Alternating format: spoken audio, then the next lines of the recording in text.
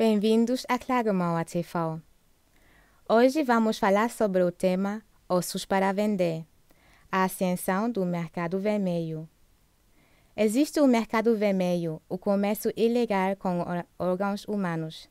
Se oferece e se procura de tudo: ossos, cabelos, rins, sangue, ovários, coração, tendões, células vermelhas do sangue, córnea, etc.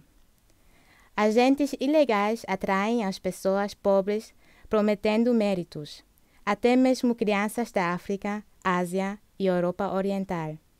Os órgãos são vendidos aos turistas médicos dos países ocidentais, enquanto os pobres, depois da transplantação, onde os médicos cirurgiões também estão envolvidos, quase sempre não recebem nenhum dinheiro. Porque a corrente principal da média permanece em silêncio, o antropólogo americano Scott Carney abre os olhos ao mundo para esta miserável ganância na nossa sociedade de hoje.